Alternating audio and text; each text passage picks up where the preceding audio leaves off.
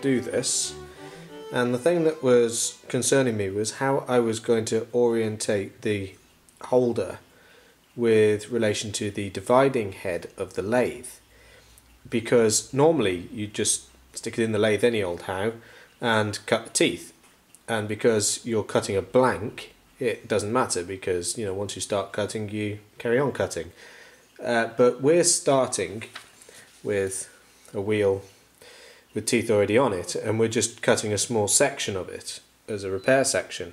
So this has to be clocked accurately to the dividing head. Now the way I came up with thinking about doing this was to turn down this diameter rather than it just being a any old oversize turning it down to the accurate outside diameter of the wheel.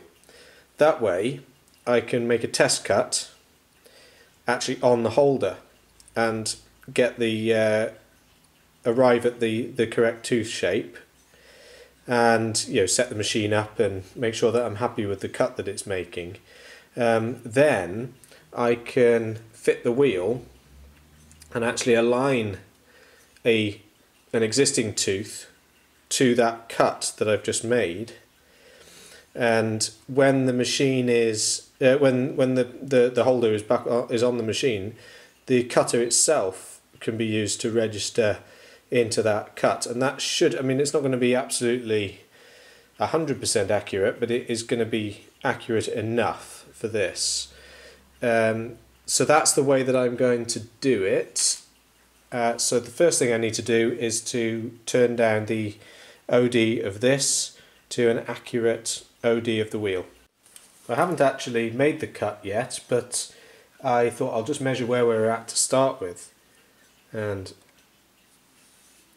as the holder is 18 point yeah 18.51 and our OD that we're shooting for is 18.45 so uh, you've got to have a little bit of luck sometimes. I didn't actually uh, uh, I just turned this diameter down to something something near so I was lucky that I didn't overshoot it anyway I got away with that one and I will now put it back in the in the lathe and take that last 0.06 off to bring it down to 18.45 OD.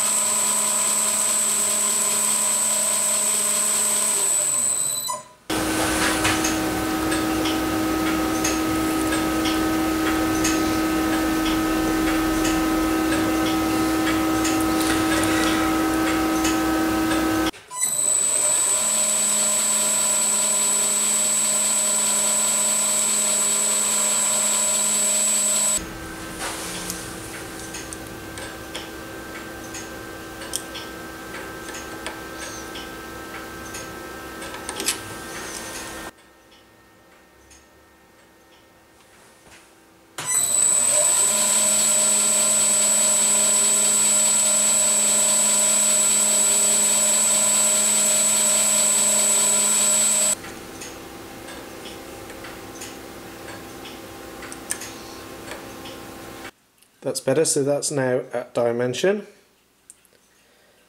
And I've also coloured it with a bit of blue Dykem which will enable me to see the tip of the tooth as I make the cut. So now you can see the damaged teeth here. I'm just having a look to decide which teeth we want to remove. This one is definitely damaged, as is that one very obviously. That one's bent, and this one's bent and also got the um, some damage across the tip of it there. So those four one two three four teeth are the ones that we're going to be cutting out. So what we'll do is just use a piercing saw and cut a section out of here and then file it up nicely. That'll be the first stage. Okay, so off camera, I've just filed up this little uh, piece here, which I'm not sure if you can make out very clearly, but that's actually dovetailed. And the damaged section of teeth is cut out and filed up to show, to give dovetailed um, edges as well. And then this piece will drop into here and we can then hammer that home riveting it and hopefully making a solid patch which we can then machine in order to fit the new teeth. So next I'll tap that up.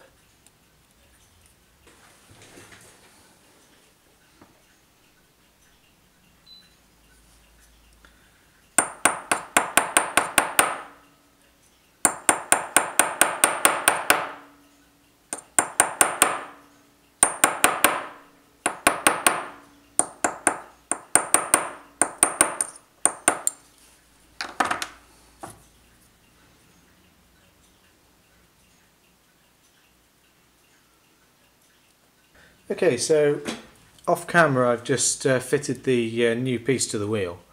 Um, I did actually have to run a small amount of soft solder in because we're spanning four teeth here and it's um, a little bit too big a proportion of the wheel to make a safe dovetail joint on its own. I was hoping with the size of the wheel that it was going to uh, be sufficient but I did opt for safety in this case should be able to just make out it's an almost invisible joint. You'll always see a small amount of solder in the joint but it gives it that little bit of security so we don't want this piece to fall out ever.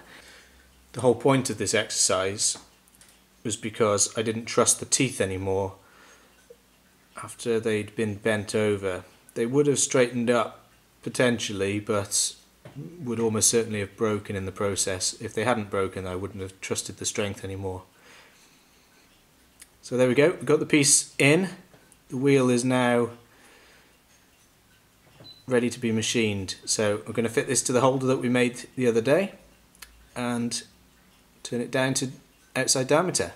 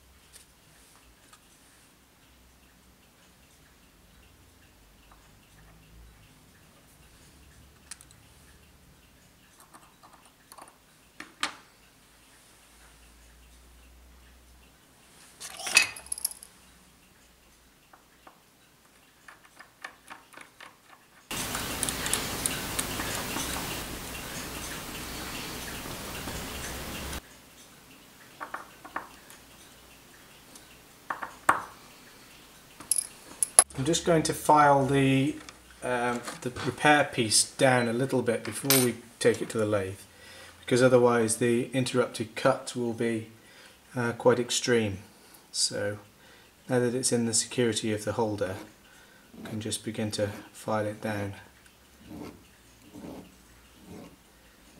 get it a little bit closer to uh, to the outside diameter that we're shooting for. Back to the Schaublin 102 where we'll bring this OD down to final size.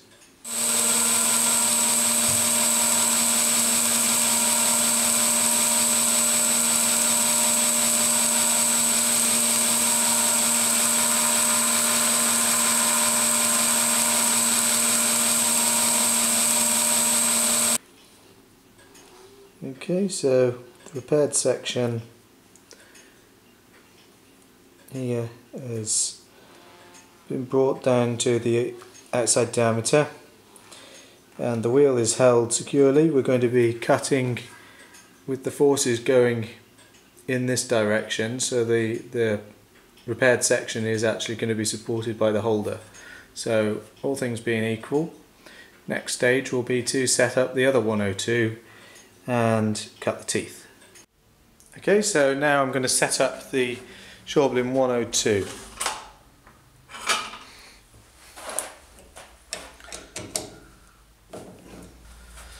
This is a longer arbor that I've been using for another job.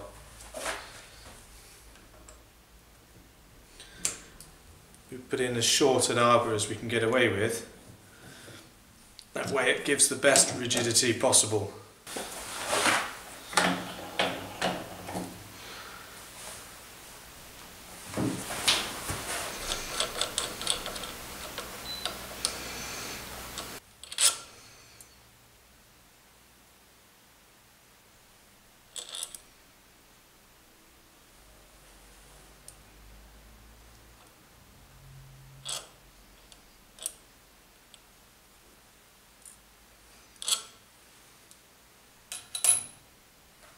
Okay, so having put the right holder in this time, I can now put the cutter onto the holder and we can begin centering it. So now I'm centering the cutter. Unfortunately I don't have a microscope. It is something that I would like to get in the near future. But at the moment I have to do it the uh, low-tech way of presenting the cutter to a center point.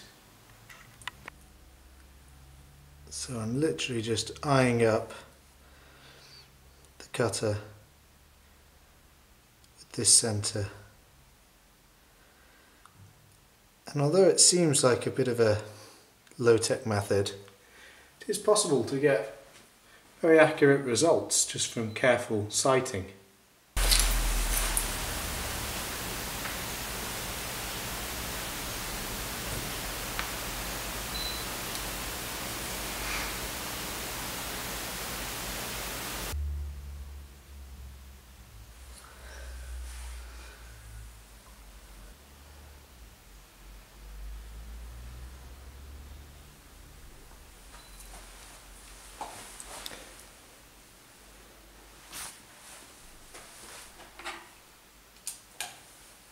And I usually just nip up the uh, gib when I'm happy with the uh, centering of the cross slide just so that it can't move. Okay, so excuse the very shaky camera work but you can see here that the cutter is very well centered to the to the center that's in the headstock. So now it comes the setup of the dividing head on the lathe and you can see here we've got a chart and we want divisions 64 and the circle is the uh, disc, the uh, plate that we're going to fit. Uh, so for 64 we want 32 holes on the plate and 30 holes. So uh, that means that we're going to put a, a plate that's got 32 divisions on it and we're going to use 30 of those divisions to cut each tooth and that will give us 64 divisions on the workpiece. I'm actually in luck because as you can see 32 we've actually already got the right plate on so that's a little bit of setup time saved. So all we need to do is set this so that it's indexing in the 32 hole division part of the disc. So I've literally just undone the nut, moved it on the slide, made sure it's indexing in the 32 hole ring and tightened it up again. Now we need to set the sector plates so that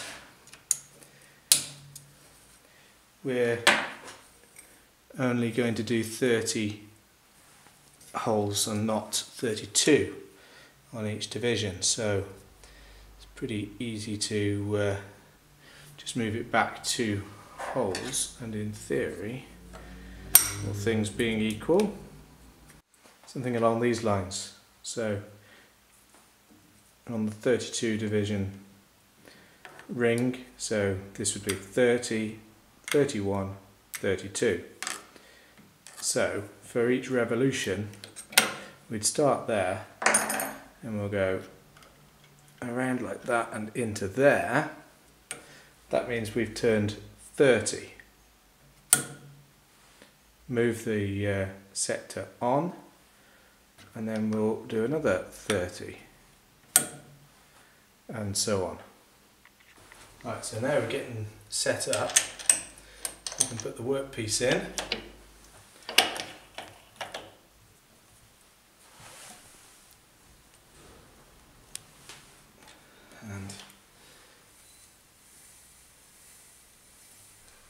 Quick visual check for concentricity.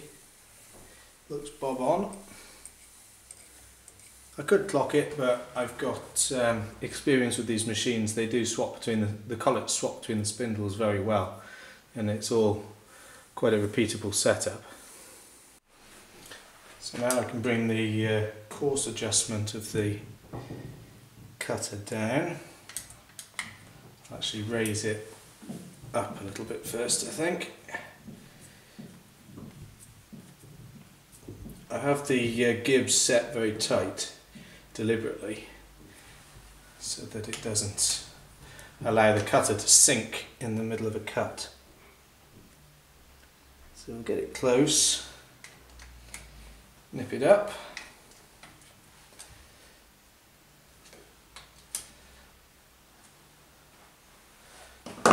Okay. One last thing to remember to do before we get too carried away is to engage the worm.